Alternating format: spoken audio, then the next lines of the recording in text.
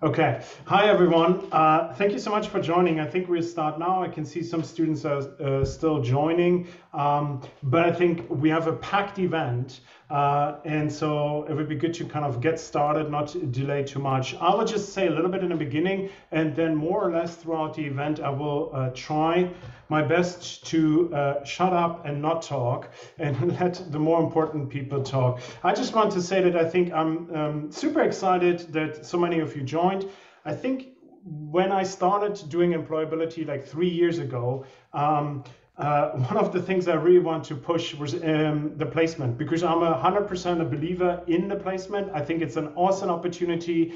I think it gives you something real, real work experience. It gives you a competitive edge when you leave university because you come uh, onto the job market with a huge amount of job experience. And I, I have yet to met a student who said like I did um, a placement and I regret it. And I think you will later hear from one student who basically discovered while on placement that what she did on placement was not really her thing. And she did a kind of a what's that 180 degree uh, change and i think still she thinks it was a worthwhile experience um, and so i think it's like something we truly believe in as a department that this is really really good and you can see it i think we have each year new record numbers of psychology students going out on placements we have i think three to four times more psychology students going out to placement than micro placements we have three to four more times students in our psychology students going out compared to economics or sociology or something. And the fit is great for us. I think it's a really good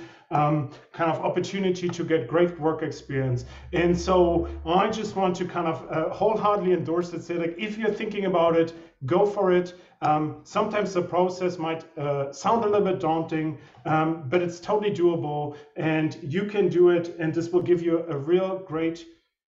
Um, oh yeah, uh, a real great advantage for um, your career. It will help you to explore your interests, get to know yourself a little bit. And I think a lot of students who are coming back, and this is the last thing I say, come back with a different sense of purpose. I think because you realize the stuff we're teaching you is not just stuff for exams or coursework. No, it actually matters. It matters um, in the day to day life of practitioners of psychology. And I think that gives you a new appreciation of what you're learning. And I think a lot of the placement students who come back to the third year have a very different focus focused than students who are not been on placement. So this is my strong endorsement. I'm super happy. Oh, let me before I before I introduce Trudy, our head of the department, to say some words. And you can see Trudy's here. Uh, she doesn't turn up uh, that often to our events. She has more important things to do. Uh, but that shows you there's a really like um, how much the department is behind this kind of initiatives to push more students to do um, uh, placements.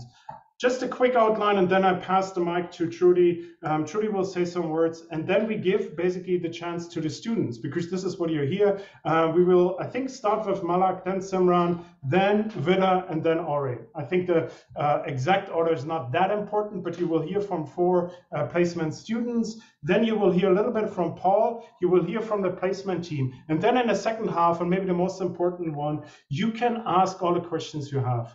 Um, and you can ask the students, you can ask me, you can ask Paul. I think you can either use the um, chat function and chat it to everyone, but I think my experience is that you can, sometimes students are a little bit afraid of asking everyone. You can also directly ask me via the chat, and then I'll ask the question for you without uh, revealing your name. If you directly contact me, I assume that you don't want your name to be revealed, and I will just treat it like that. Okay, without further ado, let me welcome Trudy our head of the department, clinical psychologist. So uh, she's uh, not just like me, a useless academic. No, she has a, a valuable place in the world. Trudy, please, um, it's all yours.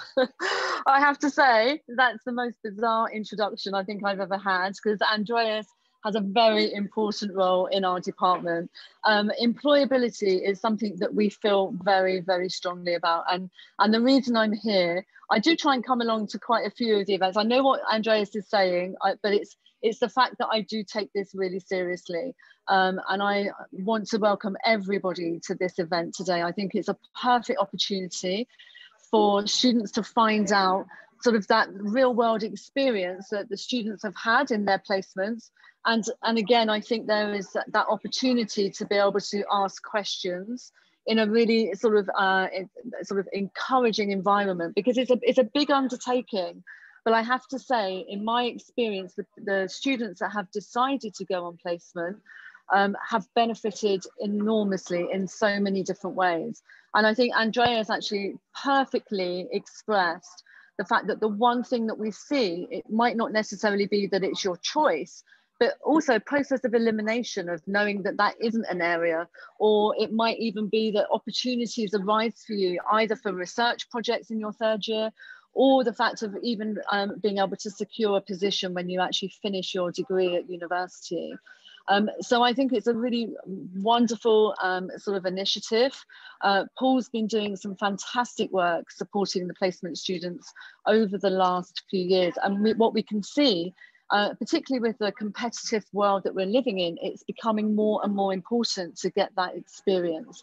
And for us as educators, when you come back into your third year, to, for you to be able to bring your knowledge and your experience into all of the modules, everything does um, come alive and it has much more meaning.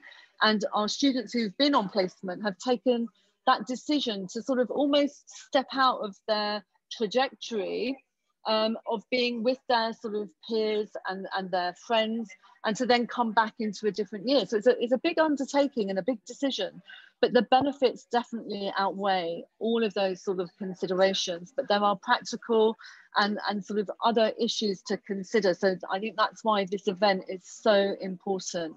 Um, I'm really excited about hearing the speakers. Um, I am I am actually currently teaching at the moment, so I am going to have to step out, but I will come back, and I'm also going to be watching the recording um, because I'm really interested to sort of hear. As a clinical psychologist, I work, you know, in the real world and within the university. Um, and again, I love the fact that we've got people in the department that are absolutely dedicated to supporting your sort of um, career progression and your academic studies and integrating that with research and practice. So I think it's brilliant. I hope you have a fantastic event and um, I look forward to hearing about sort of more of your talks and experiences and also the fact that you're going to be inspiring the next sort of cohort um, of students that are going to also go through a similar undertaking. So thank you all for being here. Thank you, Paul and Andreas and the placement team for organising. Um, and it's been lovely to be able to come and speak to you. So thank you. Thanks, Andreas.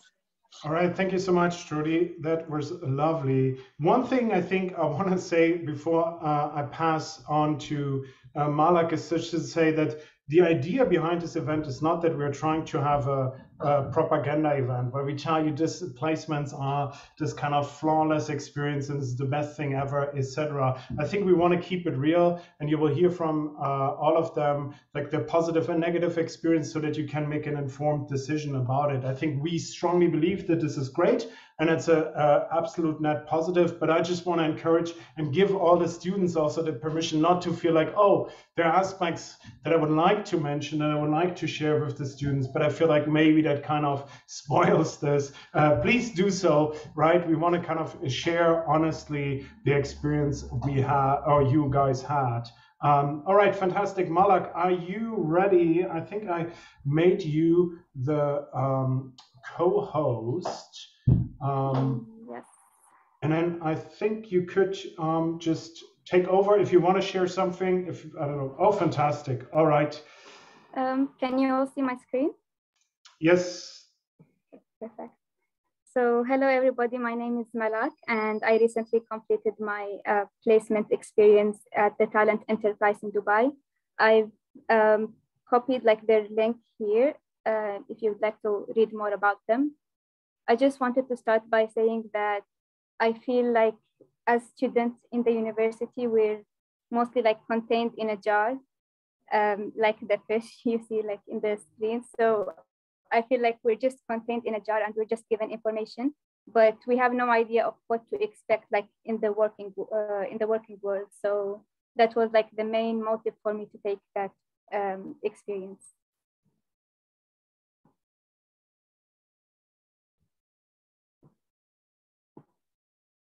Okay. So let me start by talking a bit about like why I decided to take the placement and how I secured one. So I decided to take a placement because I felt like it was an opportunity for me to develop myself personally and professionally. And it would basically base my CV and potentially uh, help me secure a full-time job faster after I graduate. And this actually did happen since um, like by the end of my placement, um, like my supervisor and the boss, they, they came to me and they offered me like a full-time job uh, for if I want to consider it like after I graduate. Um, I also wanted to expand my professional network. So I always attended like events at City University, but I found this like as another way to expand my professional network and I surely did. Um, I also wanted to have a view, as I mentioned, of the work life and how it's like, like what to expect after I graduate. And um, to help me narrow down like my career path um, so that I can decide like what the, which major I want to pursue for master's. In this case, my placement was organizational psychology. So I was working like with a company and I find like organizational psychology kind of similar to HR. So we were like um, training people, recruiting people, assessing people.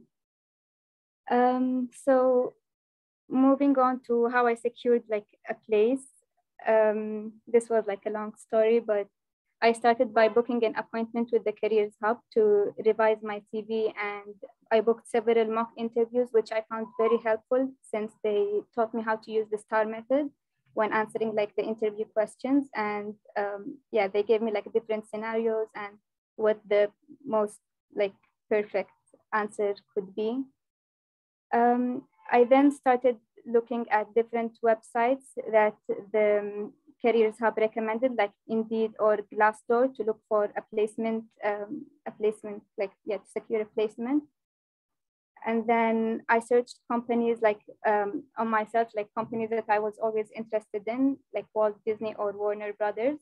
And I think they have several deadlines throughout the year, maybe like two deadlines. So if you want, like you can have a look at them or any other companies that you're interested in.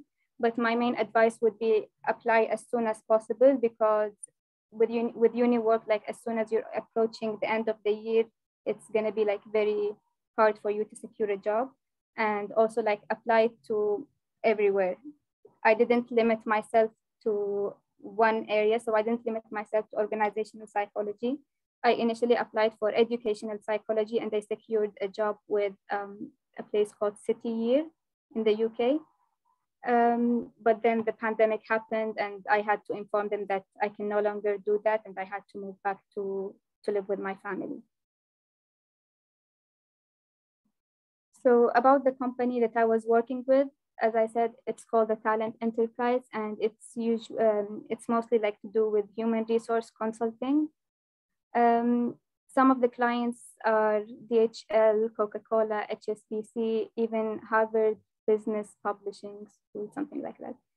Um, they, they, they had several assessments. So for example, um, uh, gamified assessments or surveys or um, yeah, psychological assessments and they use like behaviometry tools and techniques to provide multidimensional views of an individual.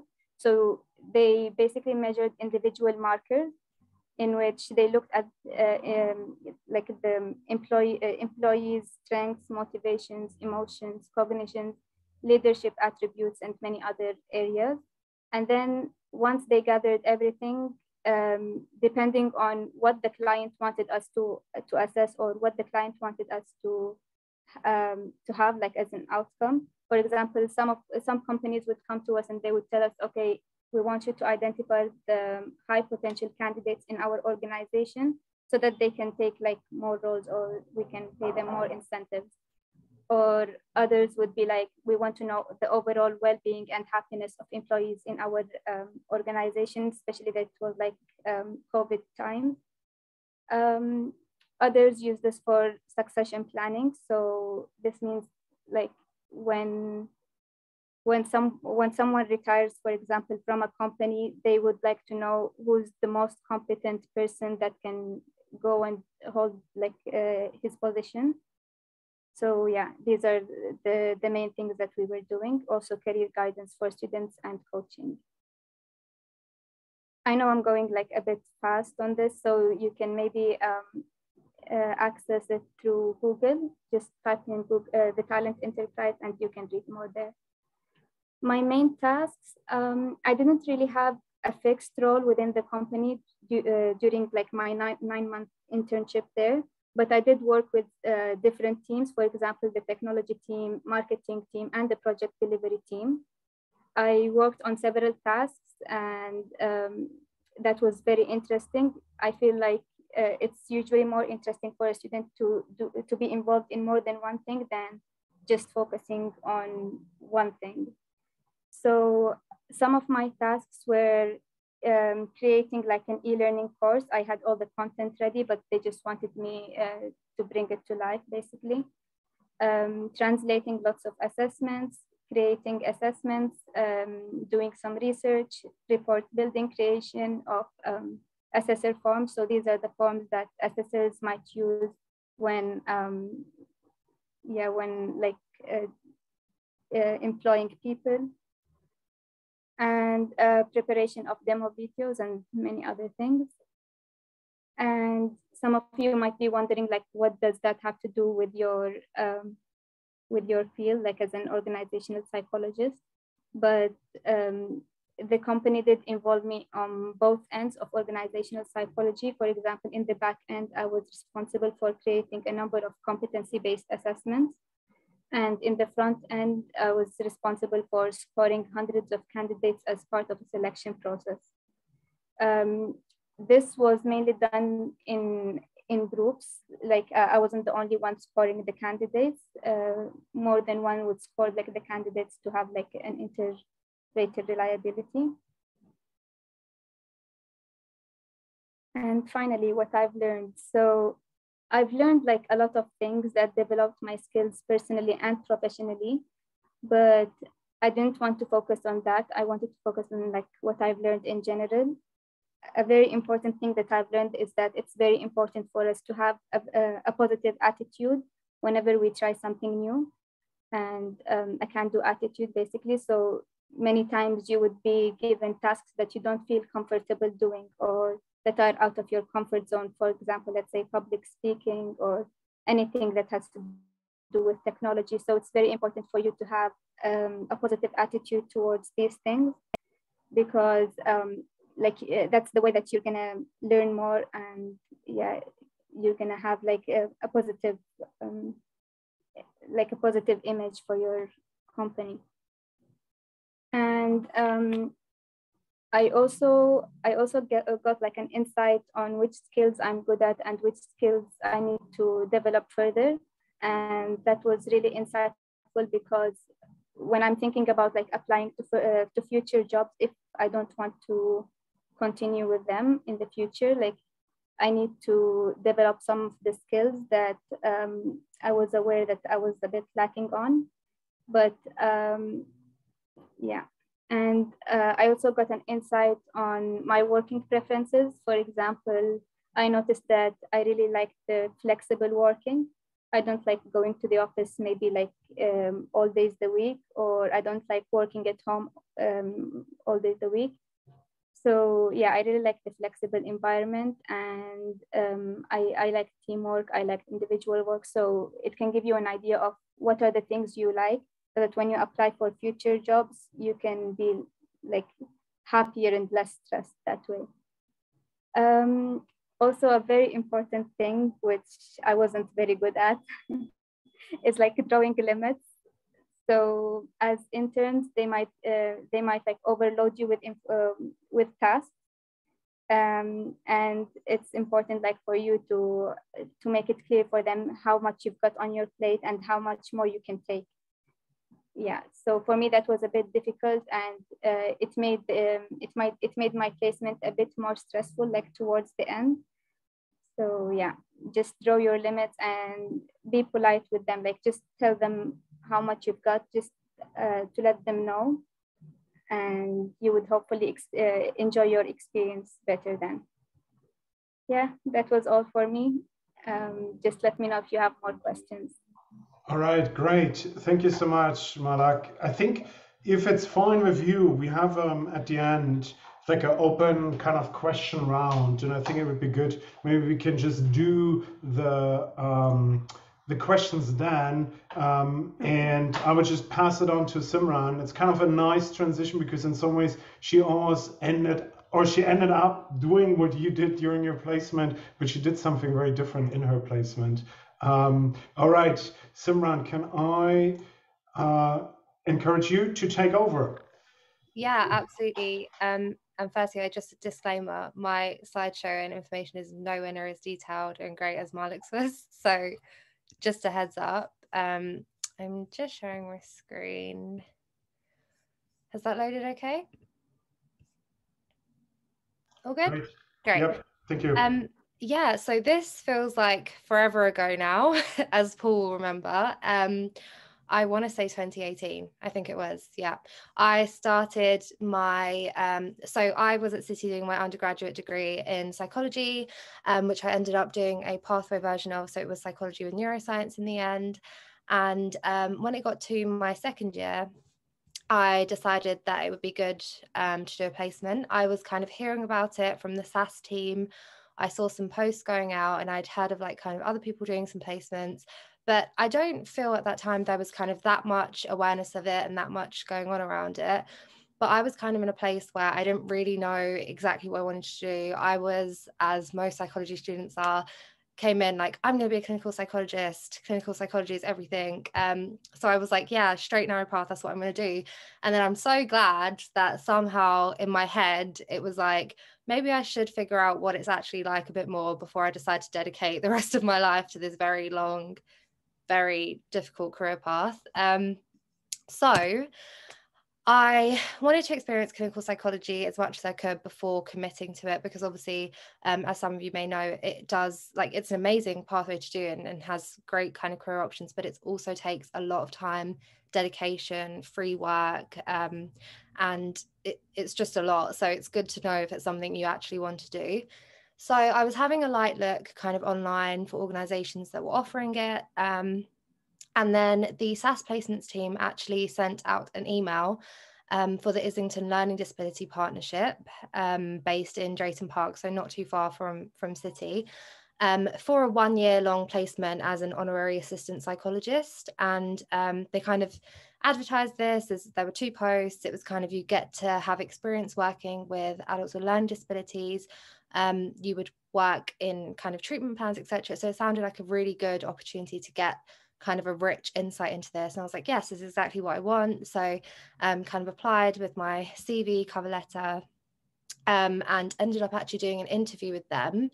Um, which at that stage I'd only kind of done retail interviews and stuff. So it was quite nerve wracking, especially when I walked in and there were like three, there was two psychologists sat in front of me and someone else, I think um, maybe a care worker or someone else in in the team was sat there and it was like three of them in front of me when i only expected one and they were kind of handing me um, laminated questions to hold for each question and i was like okay just breathe. But um, it was a good experience to have so got it in the end.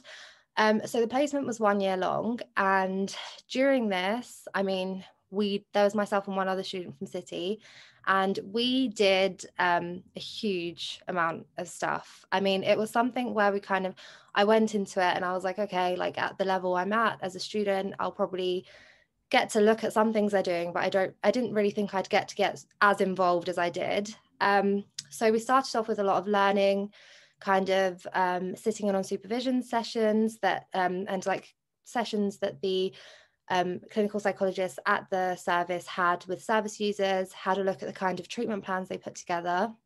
Um, and then we started to actually get involved ourselves. So it was a multidisciplinary team set up there.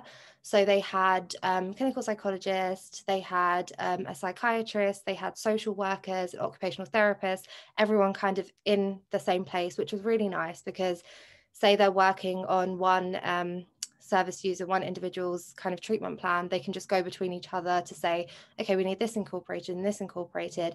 And it also meant for myself, I got a lot of exposure to all these different roles and how they kind of work together in offering this clinical psychology service um, to the people that they worked with. So what we did is we kind of got some training from our supervisor um, and we learned core kind of principles um, and training methods and techniques behind things like CBT, DBT, and we got to um, learn a lot more about kind of the, the treatments and therapies that they offered. And then we actually started being able to kind of administer it ourselves, which was really cool, um, obviously under supervision. And then it got to the point where I had four service users assigned to myself that I was working directly with. So I would meet them regularly once a week. Um, I would kind of line out things we could do, create goals with them, and work towards these. I would put together events and plans, um, things for them to do to kind of improve their well-being and, and to work towards um, obviously having a better better lifestyle. Um, there was one amazing case i had where i was working with someone one-to-one and um, it was kind of we had a breakthrough where he started to communicate be a lot more open which is something they hadn't managed before. So it was really nice to kind of feel like i was making an impact.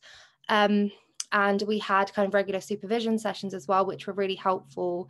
Um, we kind of ran our own events there and got people involved. So it was a really really intense and really hands-on placement where um, i honestly got to do so much which i'm very very grateful for.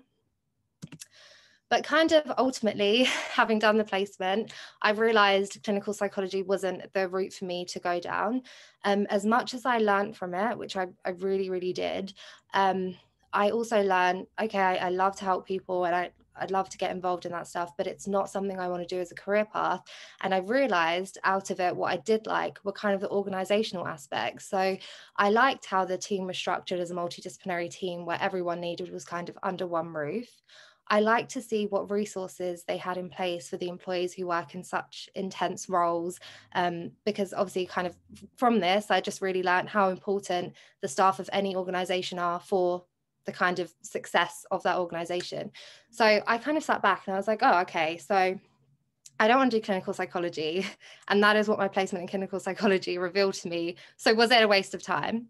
Um, but it definitely was not a waste of time because if I had not done it, I would probably be applying for a clinical doctorate right now for the third year in a row. So, um, I'm really glad that I did it.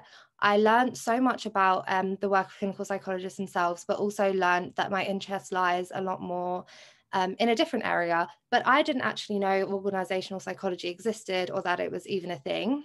I only knew Paul, who was my placement coordinator and would come out to visit me on placement. I knew he was an organizational psychologist, but I had no idea what it actually was. And then I kind of looked into it a little bit more.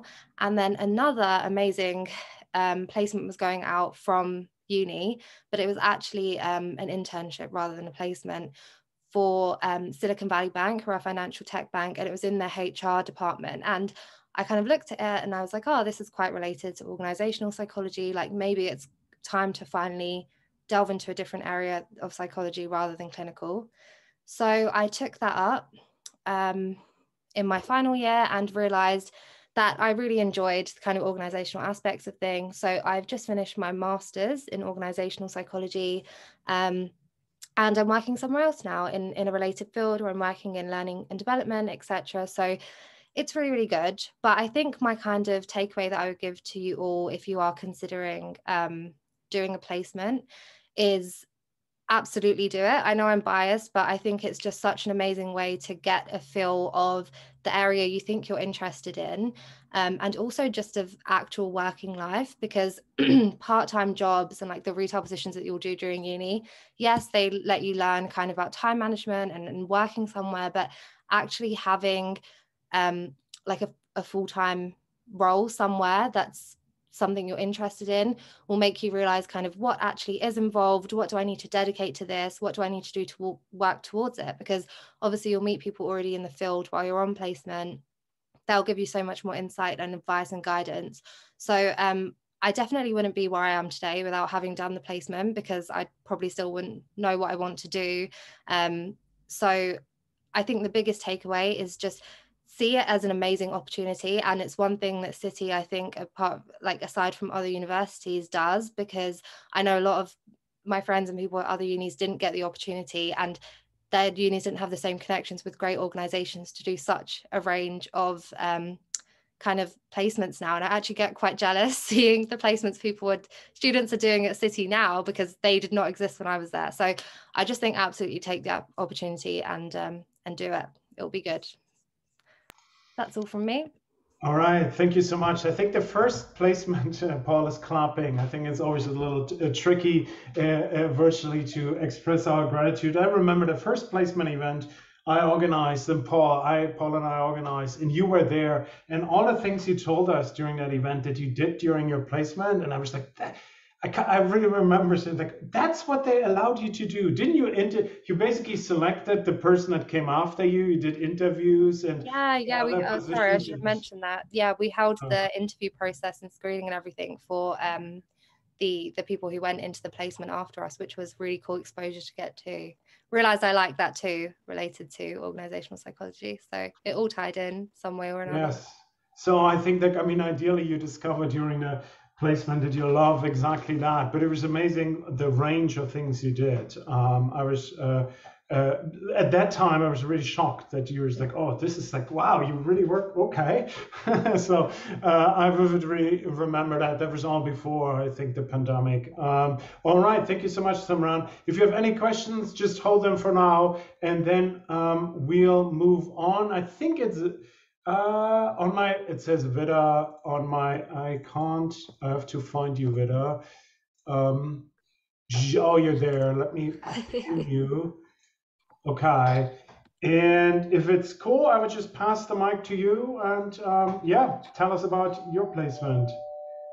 No problem. Hi, everyone. Hopefully, you can all hear me. Yes, amazing. Thank you, Paul. The thumbs up are extremely helpful. I'm just going to try. Ah, I can't share screen, and Andreas is gone, so that's not helpful. Uh, yeah, hold on a t- hold on a tick. Let me see if I can make you co-host. Uh, Vida. Uh, oh, he's back. Yeah, Andreas, can you make uh, Vida co co-host? Sorry, my yeah, uh, the the door rang. Yes, of course. Why can't I do this? Okay. Um, okay. Can you check if you can share now? I can, yes. Okay. Amazing. So, yeah. Thank you.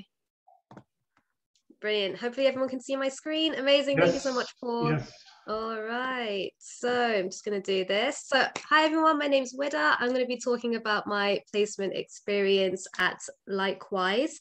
Um, so quickly just going to be talking about, so I need to rearrange something here, um, sort of the how I got to getting onto placement. So I always knew I wanted to do a sandwich year. I was in my second year of university and I just thought I need a break. I can't do third year in the mindset that I'm in right now. I need to do something different. I need a bit of a break. Um, and if you haven't, I'm sure you've already heard, if you have Andreas as a lecturer, you've heard of placements because he talks about them all the time, which is amazing and really important um, because I think a placement is a brilliant thing to do. So originally I was sort of going on along the lines of going on an exchange year abroad, but of course coronavirus happened. So I veered towards a placement very quickly because I wanted to do something. I also want to become a clinical psychologist. It is not something new. Um, it's just something I've always wanted to do. I attended an event with um, that city was actually hosting alongside Likewise. So a representative from Likewise came over and, and held an event, told us all about them, what they do, and I found it really interesting. There were a bunch of psychology students there, lots of my friends there. We all just went, we attended, and it was really great. It was online, and um, through that, it's sort of how I found Likewise itself. But I, as you can see, I've got a hi Simran written at the bottom of my PowerPoint because I actually applied for the mentor program that City does, mentor mentorship program. And Simran was actually my mentor, life coach, advisor for like the few months that I was trying to find a placement at City, which ultimately is one of the biggest reasons why I was able to secure a placement. I'm going to get onto that in a moment. And I do mean that sincerely. Um, she looked up a lot of things for me. I'm going to talk about them in my tips section in just a moment. But for now, I'm going to talk about what my actual placement was at Likewise. So it's a mental health charity and community centre based in Camden in London. So they have a central hub over there where they normally outside of covid times hold a lot of events. So they had things like a global cafe. They have a um a cafe sort of um workshop session that they do for women refugees and children there. They have one-to-one sessions that they do with their clients which is mainly what i was involved in. Because of covid their group sessions were sort of put on hold. So i was doing things like working frontline with clients face to face one on one or two on one. I was with my supervisors sometimes at the beginning mostly working with a variety of clients from a variety of backgrounds.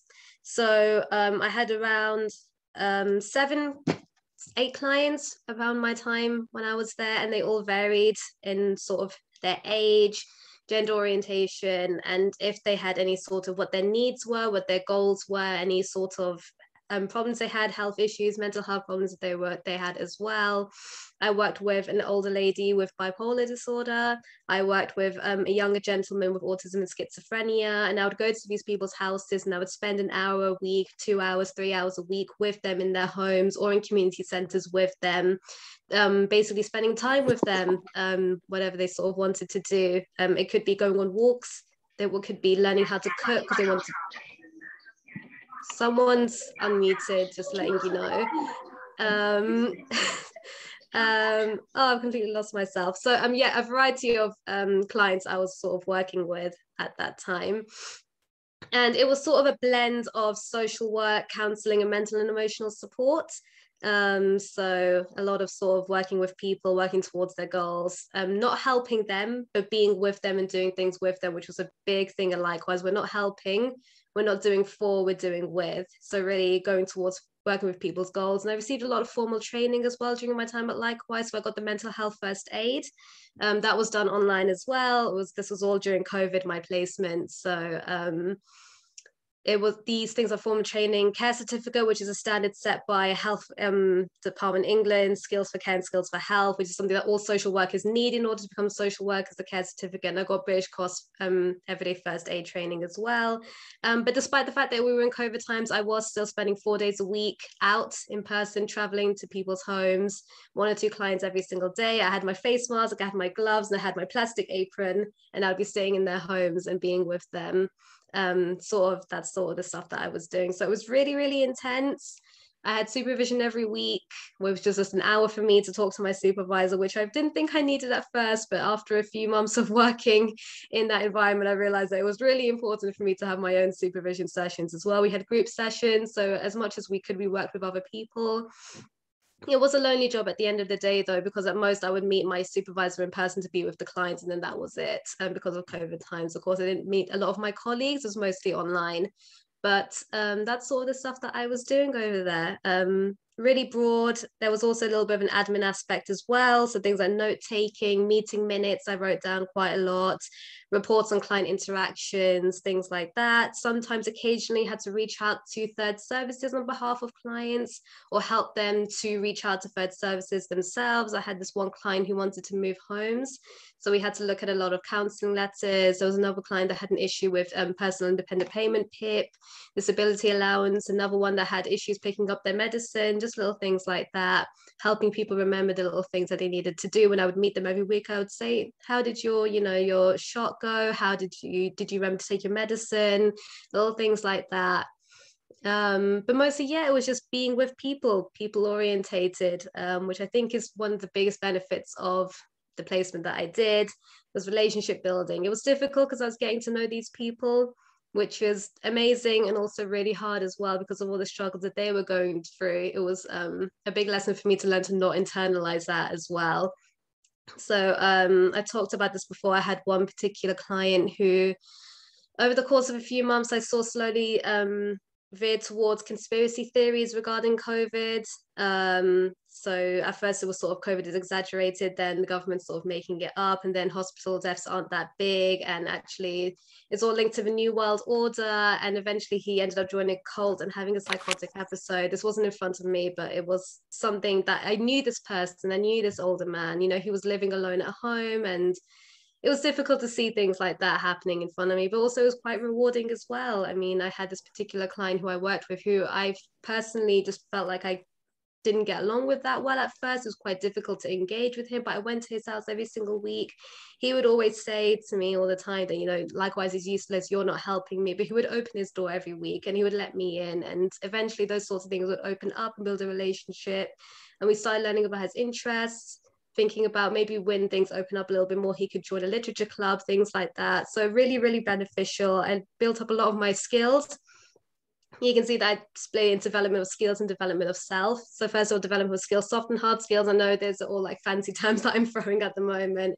I'm sure you all know what those are, but communication, active listening is so, so, so important. These are things that I've built up presentation as well.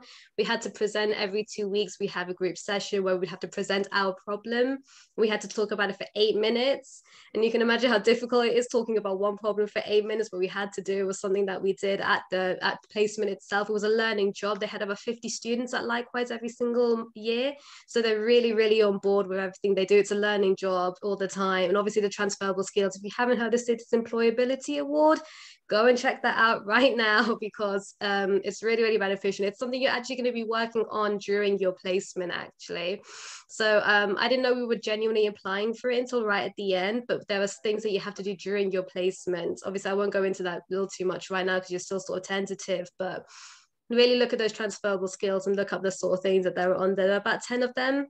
And at the end of my placement, luckily, I was awarded with the gold level employability award, which is the highest level that they. Thank you, Paul. Um, uh, so it's really, really amazing. You can learn so much from there, and you can develop so much as well. But also, there's development of self which was the bigger thing for me was a lot of self-awareness big big self-awareness paul was there with me through my journey so he knows exactly how much i struggled and what i went through in the end and how i turned out in the end as such a completely different person to who i was when i started that placement there's a lot of realizations um, even small things like I'm not introverted, I'm actually extrovert. I like being around people. I need to be around people. I can't be on my own, and I hate online learning and I hate um, working remotely. I need to be in a place, but also that I don't like traveling between locations. I just want to go somewhere and I sit maybe in an office. It's, you know, little things like this that I've realized that I really need and I want um, that I've realized I don't really want to do um, anything along the lines of social work or counseling either. So sort of similar to Simran is. And I remember she told me exactly the same thing when she was my mentor. She was like, I was like you, I wanted to do clinical and I did my um, placement I want to go to organizational. I feel like I'm going along the same path. I'm looking towards things like HR or research internships rather than psychology related. I'm even considering becoming a lecturer. I say this at my own risk. Andreas is my lecturer for one of my modules. I'm going to hear a lot from him now, I think, hopefully. But little things like that, but just change of my future goals that I don't really want to go into social work or counseling, maybe clinical, but we'll see how that goes. Um, just quickly going on to tips now, I realize I've taken up a lot of time. Um, university resources. So I've spoken, I've said this about four times now. Use the mentorship program if you can apply for it. Simran was a really big help. She did interview practice with me. She checked my CV. She improved my CV. She checked my cover letters as well. But of course, all of these things exist outside of the mentorship program. City Careers is absolutely amazing. Please, please, please make use of them.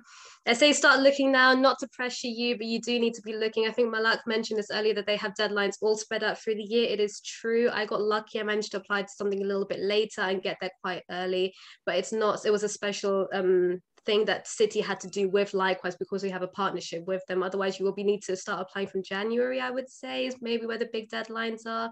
Look in multiple places. I got rejected from a few places before I got into likewise. So you need to be keep applying for places, anything that takes your interest, essentially, just apply and go, and you learn more about them through the interviews and the selection workshops that they have. And of course, attend events. I found out about Likewise through a city event. I would never have heard of them ever in my entire life without it. But all my other placements I found, I found them on Indeed, I found them on Reed, and I found them on LinkedIn. Um, LinkedIn is a really big one. Use all the resources that you have. And I wrote Be Proactive, which is super vague, but I will go into detail apply for everything that interests you. And when I say follow up, I don't just mean a follow up in the places that you applied for. If you get rejected, follow that up as well. It's something that I was really scared to do, but I actually sent an email to one of the places that rejected me. And I just asked them, hey, you know, you always give placements to students. I hope you wouldn't mind taking a few minutes to tell me what I did that what I did wrong or what I was lacking that didn't get me into your placement um, as a student so that I can improve next time. They actually got back to me with a lot of details one of the things I remember they said is that you don't have enough experience in XYZ field, which I think, okay, I didn't have a lot of control over, but that's fine. They said something about my CV that I was missing percentage grades for some of the modules on my year ending. So they couldn't actually see what my grades were at university, which is just little things like that, which helped me that I've improved my CV on already. Follow up and things like that. Ask questions at events. If anything, just to get you noticed, I sent a follow up email to Likewise afterwards. And I was just like, hey, I was a person that asked this question. I really enjoyed your um, um, uh, event that you sort of um, hosted, yada yada, things like that, just to get yourself noticed, to get yourself out there, and show a lot of vigor. Again, follow up emails, um, a lot of energy, hand gestures, and things like that when you're applying. Um, it's going to really help you out. And of course, just best of luck in the end to all of you that are applying as well. I would really say go for it. It's honestly the best thing I've ever done in my life, and I've changed so much because of it. Um, and I think that's all from me. All right, fantastic. Yeah, thank you so much. Crazy for me that you, that you thought you were an introvert, but well, there we go. I've realized. um, yes, fantastic. That was really, really good. I mean, um, yeah, what a coincidence that uh, Simran was your um, uh, mentor as well. Um, all right, I see RA, and I would pass on to RA and kind of replay if that's all right. And I think, I mean, at least as much as I know, you did clinical psychology and you're still committed to clinical psychology. So it doesn't mean that you do something in clinical psychology and you leave the field. So uh, that kind of, I think, uh, uh, I can already kind of uh, reveal. All right, I would just let you do, I think I made you, I think you can share your screen, right? Um, yes. All right, fantastic. And we can see the slides. Hey, hi everyone. Oh, someone is okay. Yeah. Uh, we'll Ines, uh, could you put your microphone on mute? Thanks. Yeah. Where you go, Ori. Cool.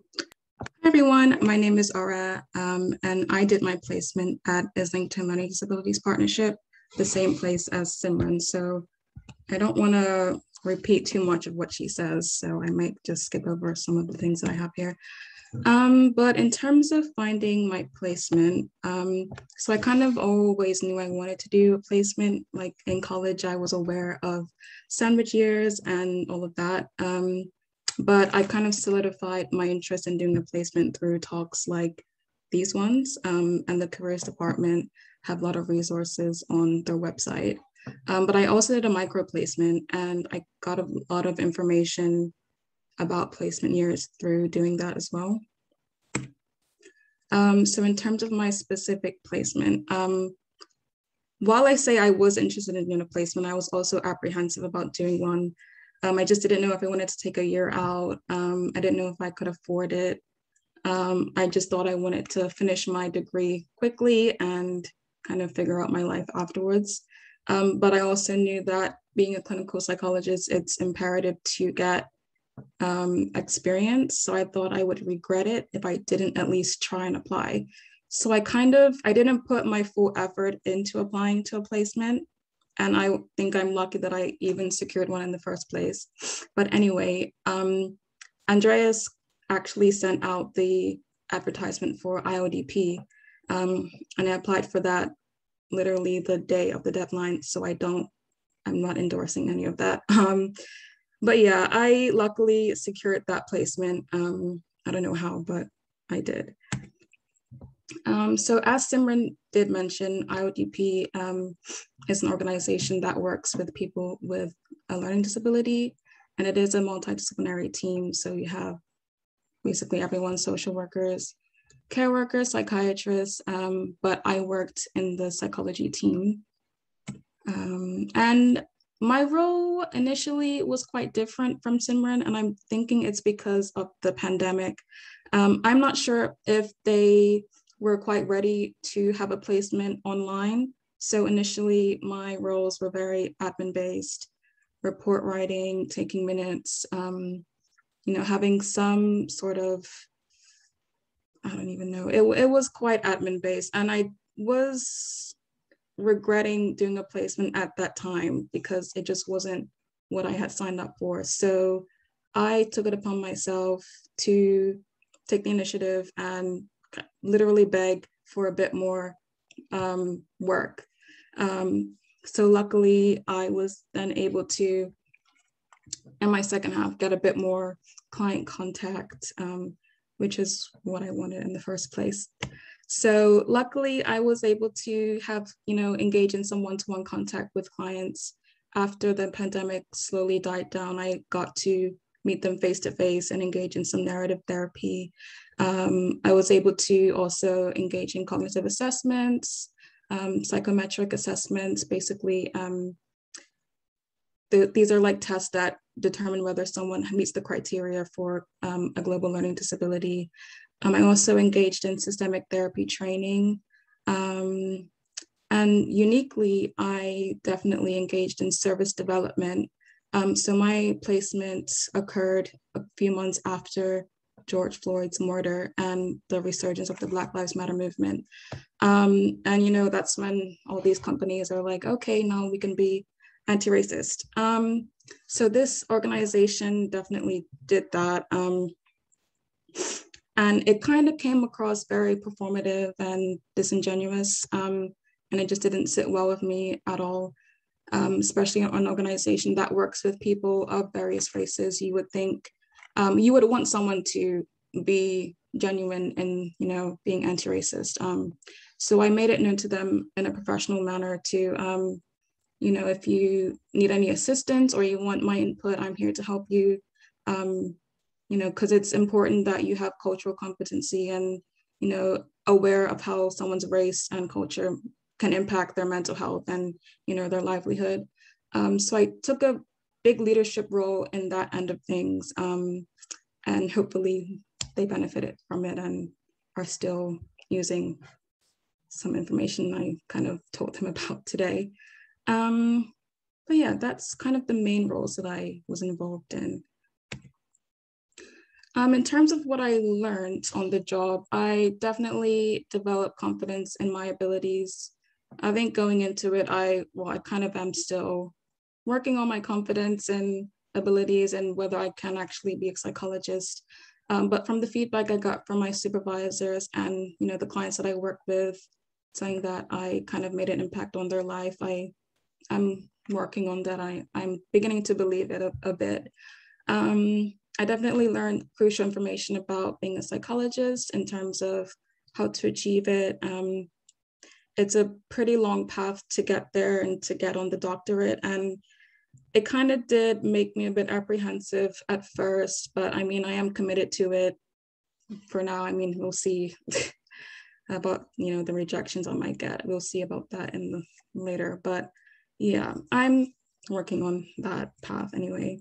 Um, time management, organizational skills, I'm sure everyone is aware of how important that is. Um, but also working from home, you, you learn how important it is to have boundaries and kind of learn about your work-life balance, um, especially being unpaid and kind of working with some top-notch people. You think you have to like overwork to prove yourself. And I definitely was a victim of that. I you know, I work nine to five, but sometimes I would work until 7 p.m. and I'm like, what am I actually doing? I'm not getting paid. Um, it's just important to know boundaries and to keep yourself healthy and, you know, yeah, it's very important. Um, and also it prepared me for the real world, um, especially about the doctorate and, you know, the acceptance rates, especially for people of color. Um, my supervisor kindly kind of let me in on some information about you know, people of color are like only 2% likely to get accepted into the doctorate. And I'm like,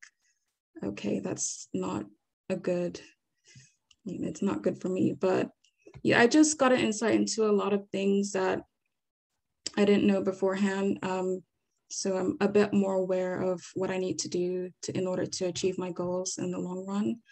Um, but I'll leave you with some tips. As everyone said, it's important to start looking now for a placement year. Don't wait until the last minute like I did. Um, do research on the kind of role you want to complete and make sure the organization kind of suits your needs and values. Um, also make the most out of your placement, make connections. I'm still in contact with my supervisors and you know, it's just important. Nowadays it's about who you know, um, and that is really important. Um, but yeah, hopefully that was helpful for you guys. Thank you. Thank you so much. Yes, okay. That I think in some ways kind of mirrors a little bit um, I think if you can stop sharing the screen, some of the things you said that How I, do I do? I think you should like there's a stop thing in the middle, but I can also let me. Oh, I got it. Thanks. Um, yes, that sometimes placement starts a little bit slow. I heard, especially in clinical statement uh, placements, I sometimes hear that people think, ah, there's not that much to do, not that much to do. And I always say, like, you have to go on an initiative, do something.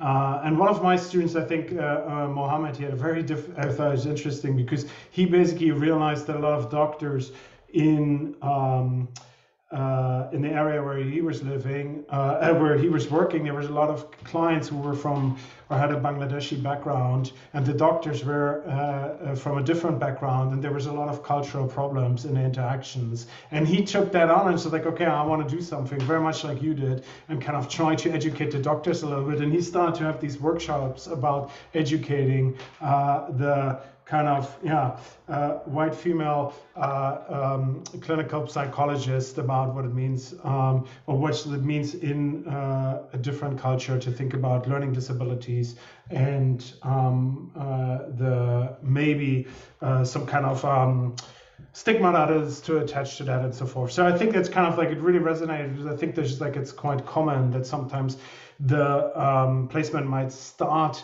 a little bit slow. Paul, I think, thank you so much, uh, Ori, for sharing. That was really good. Um, and then I think, um, Paul, it's you, isn't it? Yes. Okay. Let me just see if I can get you bigger.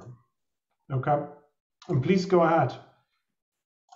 Thanks, Andreas. Yeah, and thanks um, to the speakers. Absolutely fantastic. I think the university's so proud of the contributions you've made and the way you've developed. It's just, ah, oh, brings a tear to my eye seeing you all talk about these things again. So, um, my name is Paul Flaxman. I'm uh, the psychology academic placement coordinator, and I'm just going to say a little bit, quite briefly, about what I do. But if you're interested, you can um, you can follow up with me.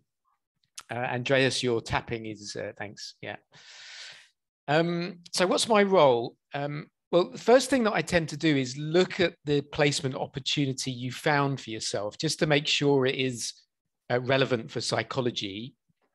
Uh, to be honest, nearly everything can be relevant for psychology. So that's quite an easy part of my job, really. If you find uh, something looking at organizational psychology, like learning and development, or counseling, clinical, or educational, working in a school, something like that uh, or with learning disabilities, as we've seen, uh, all relevant for psychology, of course.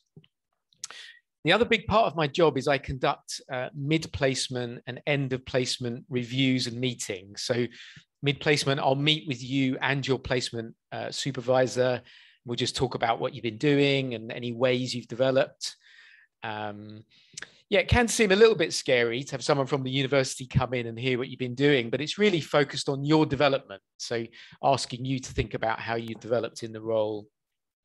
Um, another thing I've found myself doing, which I'm very happy to do, is writing job references for ex-placement students, just because I see an aspect of you if you go on placement that perhaps the, the normal lecturers won't see. So I see the way your confidence develops. I see the skills you develop on placement. So um, I'm very happy to write references for students who've been on placement when they go off for postgraduate training or um, to jobs. If you're wondering where you might get a placement, uh, I just picked a few from the last few years where our students have been on placement, just to show you the diversity really. Um, so we've got places like NHS services, like uh, Tower Hamlets Learning Disability Team, uh, likewise, where Widow was, uh, which is a charity supporting local community in London. Uh, and just have a look down there. You see some organizational psychology ones like PwC. Disney was an organizational HR uh, placement. Um, yeah, I mean, you can have a look at the list your, yourself. Some of these come back to us every year. So people like Likewise, Tower Hamlets, ILDP, uh, where Simran uh, was, where Aura was, they tend to come back to us every year just because our students do a fantastic job, to be honest. So they always come back to us. Uh, City Year is another one, which is based in schools, offering mentorship to uh, school pupils. uh, which is a really uh, a really strong placement to have. Take Two Interactive was a software company, a gaming company actually, and one of our ex students worked in a HR role in Take Two Interactive. That was a fantastic experience. Yeah, but you can see there's a wide range of options uh, for a psychology placement. I've got some learning here that I've picked up from the reviews, but I think it really echoes what um, you know our speakers have been saying, what Malak and Simran, Aura and Wida have been saying. Um, I think that top tip about being proactive uh, is from the beginning. So you look you look for your placement opportunity. Don't just expect it to be given to you. You know, go out there and look and find out ways to identify where you might find a placement. And then when on placement, absolutely maximizing the opportunity. So picking up certificates, uh, developing learning, getting involved in projects, even asking to get involved in projects is a fantastic thing to do, particularly if you're feeling dissatisfied with some of the tasks that you're doing. It's worth communicating that and asking to do other things. The initial stages can be quite challenging. You have to learn to shift from being a student to being a professional. So that often means, you know, nine to five working again, which might be a shock to the system. But nearly always it's worth sticking it out. Uh, yeah, nearly always you just keep going and you find at the end you're absolutely delighted that you you did stick it out. Um, another thing is being willing to experience some discomfort al- along the way. You know, like I, I really like what Wida was saying about um, learning to work one to one with clients can bring up some discomfort when you're not particularly confident to begin with or finding it difficult to build rapport. Uh, but that's a great skill. I write that a lot in the reports about how people have developed this willingness to be uncomfortable in order to pursue goals at work. It's absolutely fantastic. The contributions are amazing to the services. They, I still get feedback from these services about how our students have changed the ways of working at the service. Uh, ILDP, classic example with Aura and Simran.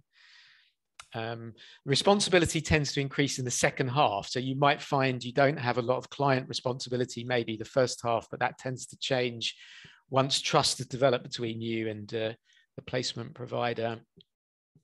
And I can say, because I see this, is the personal and professional development is remarkable. What you see from the beginning of the placement in the student to the end.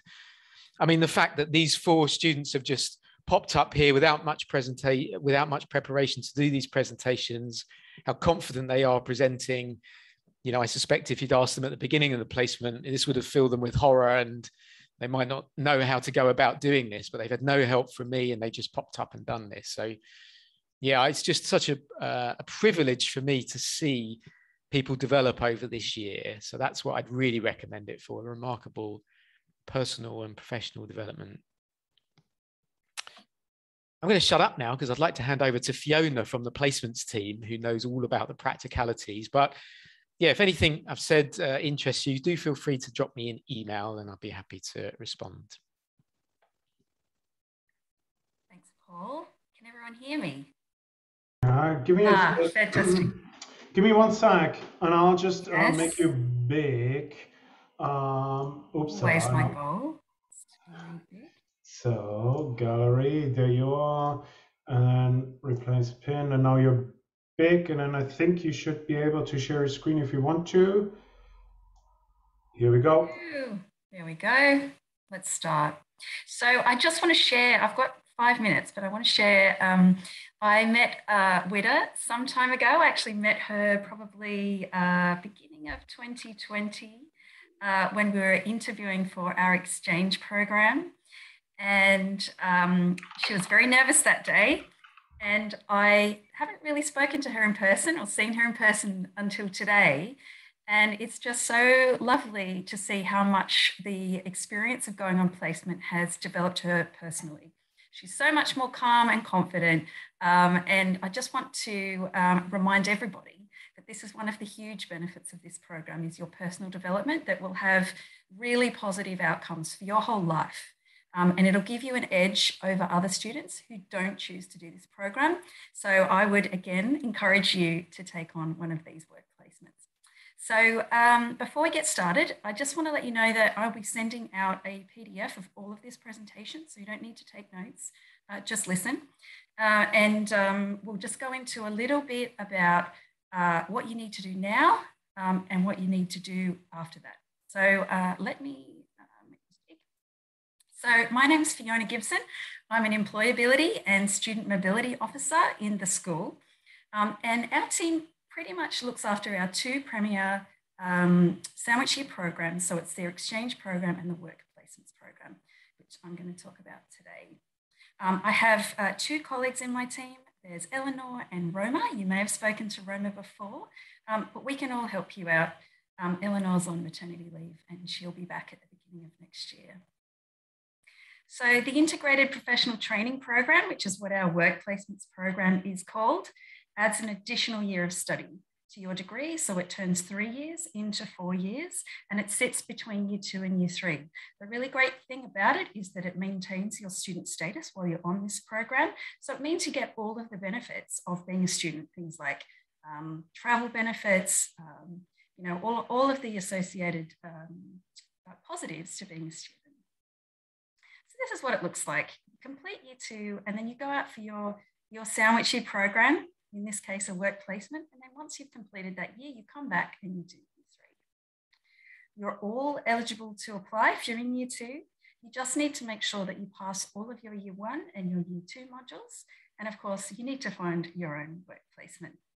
And we recognize this program on your transcript when you have uh, finished here at City, and it's your degree title with integrated professional training. So it shows prospective employer that you have added an extra year to your studies and you have put yourself out there and been really motivated and got some good work experience as well.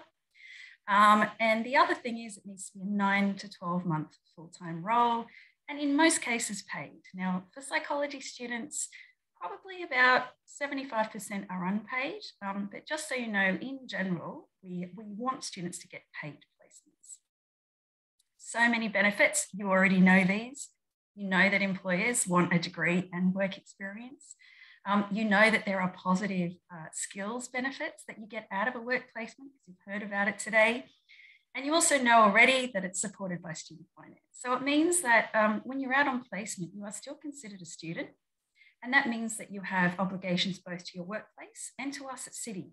Um, and we're going to ask you to do a series of assignments throughout your year uh, which are going to benefit you in your learning and at the end. And uh, Wida touched on it today. We ask you to do the Employability Award application right at the end. Um, and we've had so many students in the last year who've gotten gold awards um, because they've done such amazing work with their skills development on placement. If you are an international tier four or student visa student, um, you can work full time while you're on this program, which is really, really nice um, which is a bit different to normal uh, studies at university. So where do our students end up? They work right across the job sector, every job sector. So we have students who've been in private or commercial organisations. Human resources is a really popular place for students to end up when they go on placement. And these are almost always paid placements. Um, recruitment is a popular one. Learning and development, so working on training programs for organisations.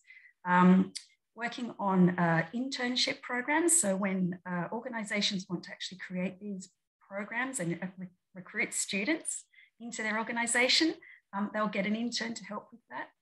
Um, we've also had students doing business development, so sales and marketing. Um, of course, NHS placements, uh, students who want to do um, you know, the clinical psychology type of roles. We've had students in schools and also in the charities that you've heard about today. So uh, what to do next to secure a placement? Um, Bernie's telling you over here, um, use all of the careers resources that are available to you. Um, there are so many here at City available to you, not just in our team, not just in your department. You have Careers Hub. Um, there's so much there. There's Experience City. You have Unitemps if you want to get some um, shorter term paid work. There are online job boards, um, organisation websites that will advertise positions. And of course, the emails that we send out and post on our LinkedIn, um, because we get um, approached by organizations who want to keep using our students because we have great students uh, at City. So in terms of timing, um, we are coming to the end of the recruitment period now for next year for commercial organizations, which is not to say that they won't keep recruiting because COVID has created a little bit of an interesting timeline for organisations. They tend to be recruiting for a longer period, um, but normally they're completed by December. For the NHS or charity uh, type roles, um, they're recruiting right now and right into next year. So you'll have until May um, to uh, see about those ones as well. So keep an eye on your emails, make sure you're searching online um, and something will pop up. So Careers Hub, this lovely lady here on the right hand side, this is Antonia Clark. She is our careers consultant. She is your careers consultant, um, and she's really, really helpful. Um, you should meet with her, jump into an appointment, either career planning or career advice if you're not sure what you'd like to do or you'd just like to chat with someone about your options. Um, she can help you with mock interviews uh, once you've actually secured an interview. And I'd encourage you to get as much practice as possible because your, the way that you talk about your skills uh, in an interview is the difference between getting that job or not getting that job. Um, you can also get application checks. So when you're initially putting in that application, get it checked first before you submit it. It makes the biggest difference. Um, and of course, uh, you can get your CV checked as well, and I'd encourage you to do that. Um, Careers Hub also has uh, a lot of events that you can go to if you're sort of trying to find out what it is you're interested in. And they have a job board. They post uh, internships and placements on there as well. So make sure you keep an eye on that. Experience City, if you don't know, is City's website for all things employability. It's a one-stop shop for you and it is um, a hub for you to access the volunteering website, Unitemps, um, you can access leadership programs, so just uh, click one of the, the links on the right hand side. I want to gain business experience and it'll bring back a list of things that you can get involved with to do that. So you don't need to think too hard, you can jump straight in. I'd encourage you to use that website. Of course, online job boards. You're going to get uh, really, really experienced in searching for placements online. LinkedIn Jobs, as was mentioned before, is a great place to look.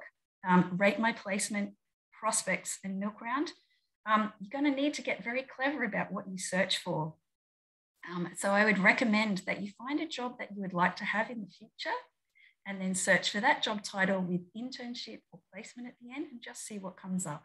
Um, sometimes being more specific will get you exactly what you're looking for.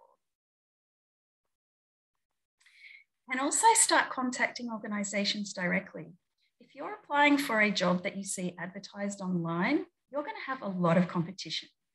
If you apply for a job by sending out an email to an organization and asking them if they've got something available, you will have very little competition for that role and your chances of securing that are much higher. So I want you to get really comfortable with reaching out to organizations that you want to work for um, to create your own opportunities. Um, so you can create an email uh, and look on their website to find out who the contact person might be. You can also do some sleuthing by looking on LinkedIn. That's what it's there for. Find someone in HR that you can contact, or perhaps the CEO's name, um, and send an email directly to that person. Um, you just never know what you might get back. You may not get a response, but that's okay. And of course, our emails. We try to send out all of the jobs that we get uh, sent to us uh, via email uh, to our students. And this is what they look like on the right hand side there. Um, there's usually some emoji in the subject line as we try and vie for your attention. We know you get a lot of emails. So um, make sure you always look at our emails because we try and make them as valuable for you as possible. Um, as it says, organizations will contact us directly and we will send those to you. These are, this is another kind of placement that is much easier for you to get because the pool of applicants is going to be so much smaller. It's not open to everybody. Um, and most of the roles um, that we do get contacted about are exactly the kind of roles that you're looking for. These are the social care and NHS roles. Uh, so keep an eye out on your email. So what to do for success uh, is my final point. Um, read our Moodle. The SAS Placements Moodle talks about the whole program and exactly what it is you're, you're going to be looking for um, and what you need to keep an eye out in terms of timing and that sort of thing. Um, put your, your CV together and put it through the VMock system on Careers Hub. Make sure you get it checked and it looks great. If you don't have work experience, please try and get some volunteering, just an hour or two a week. Uh, will help you when you start applying for these roles. For placement for next year, book in with Antonia. Get that, get that started because the momentum will help you keep going. Um, start searching for placements online and reaching out to organizations that you would like to work for directly and get that interview practice um, once you've actually secured an interview because it really does make the biggest difference. And the more you practice, the more you'll feel confident just talking about the things that you've done and the things that you can do. So um, finally, please don't give up. Um, sometimes this is a numbers game. Just keep reaching out and um, we, this is what we find anyway, is that the students that persevere get something in the end. So if this is for you, keep going. Um, and I probably got another page. So this is uh, not something I expect you to read right now. This is a little cheat sheet I put together with all things for placements uh, for you to look at. And if I can draw your attention to the right-hand side, I have a little uh, approvals um, process for placements. So secure an eligible placement we have a form that we're creating now that's in Moodle that uh, we want you to complete for conditional approval of your placement. And that just makes sure that it's an eligible placement and that everything's in place. Um, we will add you to a Microsoft team after that, and all of the paperwork you need to complete is in that team with instructions. And then you submit that work in Teams once it's all complete. The deadline is the 30th of June next year. If you feel like you might go past that deadline, get in touch with us by email um, because we can often make exceptions for you, um, especially if you are communicative and you stay on top of it. Um, if people drop off the radar, we forget about them. So um, make sure you're very communicative uh, about that. And also, once everything's approved, we'll send you an email so you know for sure that you have had your placement approved, and then you can go out on placement. So that is it in a nutshell. Um, thank you very much for listening and uh, get in touch if you have any questions about this. Thanks, everyone. All right, thank you so much. Yes, I think I would love to add two things to that. I think the one thing is, um, from my experience, yes, that uh, like you can get stuff till the summer. I think sometimes it happens later, sometimes it happens earlier. Don't give up if you don't find something. And I think if you have something that's a little bit different, I think Paul, Fiona, and I will always try to make it happen. I think we have some people who split their placements or do other things, or can they supplement one with the other and so forth. So because we're so pro placement, I think we're very much in favor of making it work for you. So if you have very something specific that you feel like mm, doesn't fit quite into the framework, just contact us and we'll try to make it happen. Um, I think yes. Uh, I can't. I think Vida said it in the chat yes, you, we will understand you and we'll try to make it happen. Um, and I think that's really important to kind of know. Um, thank you so much, Fiona. That was great. Um, I think I would just open the floor now for questions. I think we went a little bit over time. If you have any questions in general, I think it's always good to start with you, Fiona. Um, and I think if something pops up that either Paul or I should answer and Fiona asks us, and then we we figure that out. Um, yes, and I think the other thing I also say, if you know somebody who did a placement that you would like to know, I think contact them. Uh, uh, that's also good. I think as uh, students really are helpful. You're nice people, and if somebody asks you, "Hey, how did you actually do it?" then uh, you will more often than not get some great advice. Uh, and I often contact former students and say like, hey, uh, how did uh, how did you do that? I have a student, they need advice, and then I that's how I learn about these process. Okay. Um, so there's one question in the chat if it's possible to do a placement at a psychiatric hospital. Very much. Um, I think you, it's within the NHS. You need to find a placement, um, but that is something. Um, yeah, so I think there's another question in the chat about um, I think if you're in the first year, this is great. I think we hope to, we hopefully whetted your appetite. You should have that on the radar. And um, but it is after your second year. Sometimes I get the question whether you can do a placement after your third year, um, which but then you basically would just like get your degree and then do your voluntary work or whatever you want to do uh, thereafter. So you it has to be between your second and your third year as much as I'm aware of. I think Fiona, that's like 99.9% correct, right? That's right. That's, that's okay. right. So um, I'm just having a little look at the questions. Um, and if you are in first year right now, your priority should be to get some experience if you possibly can, because this is going to set you up for next year when you actually start applying for placements. Um, so volunteering is a great place to start. Um, sometimes students who just use their part-time job, as long as you can draw out the transferable skills from your part-time job and use those for your placement um, application, you can get a, a fantastic placement. Um, but yes, please try and get something that's semi-related to what you'd like to do now, that, that would be your priority this year. Would you say that, Andreas? Yes, unfortunately, some of the, I think um, uh, Aura and um, Simran, for instance, did a placement that's quite competitive. Uh, some of the really like uh, honorary assistant psychology roles are quite competitive. I don't know why my dog starts to whine in the background. There's probably a really good reason. Um, so I think it's good to have a little bit of experience. And I think the moment you have a little bit of experience, you can immediately tell um, in an interview because you have so much of like a richer understanding from what you're drawing um, uh, when you talk to people. So I think yes, if you can, I I mean I'm all about work experience. I think if you're in your first year and you kind of feel like you're settled in and you're not overwhelmed and you feel like well I have time, do work experience in any case, whether it is for the placement or not, just go out and do something. In the summer, you can always do something in the summer. Um, it's so good. Um, okay. So yes, um, Fiona, can you talk a little bit about student finance? So how does that work? Um, yep. Yeah. So if you're currently um, accessing student finance, it works exactly the same way. It's uh, you can get your tuition fees covered. Um, we do charge a nominal fee for placement year. It's actually much reduced. Um, we just cover the administration of the program, so you're not paying for the, the, large amounts that you would if you're coming to university every day for classes. Um, in terms of your maintenance loan, it is means tested.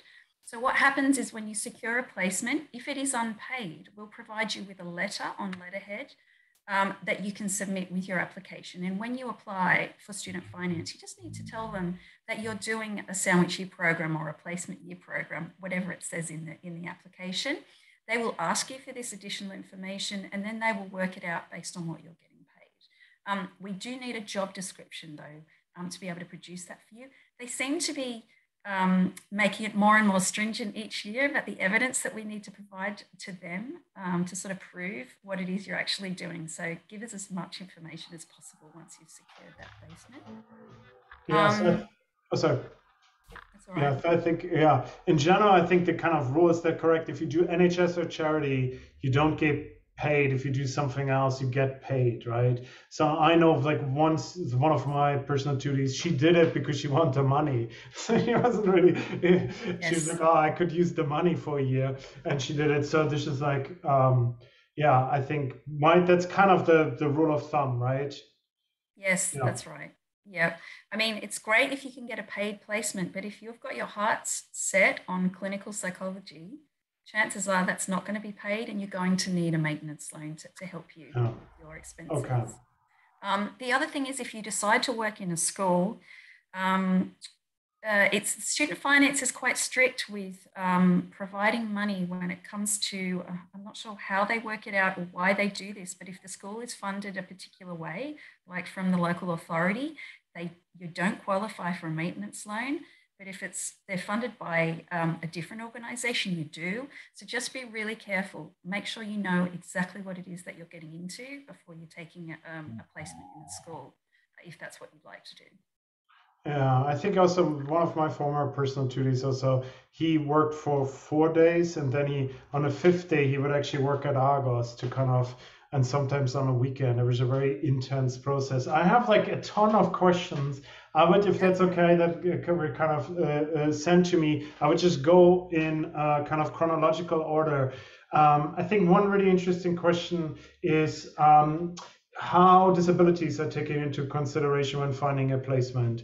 Is there something that we're you know we can figure out like is, is that taken into account how does that play into that um, we ask students to disclose this on their tri-party agreement um, they don't have to if they don't want to but we can't can't help you if you don't Um, and we would hope that you would be registered with the Disability Service at university. Um, we will do all we can to help you um, in that search, um, but we would also expect that any prospective employer would take that into consideration as well as part of your, um, you know, your setup at work, for example, perhaps you need special adjustments made. We would want them um, as part of that arrangement to, to look after you. Um, we're not going to put you into a, a difficult or dangerous situation. Um, so just communicate and let us know what you need. Yeah, I think in the NHS, that's probably something they're equipped most often to kind of yeah i think uh, the bigger the organization the probably the better they're prepared that would be my kind of uh, um, but uh, please don't let that stop you um, placements abroad i think there's more there's one about placements abroad. I think malak did her placement i think in dubai right? Uh, so it's definitely uh, doable and you can do it. Um, fiona like how how's uh, like what do i have to keep in mind if i want to do my placement in hawaii? So take appropriate clothing. Um, so i would say so we have we, we, we don't say that we won't allow students to do this. You absolutely can do this. COVID has created a difficult situation in that there are additional risks for the university, and we want to make sure that students are okay.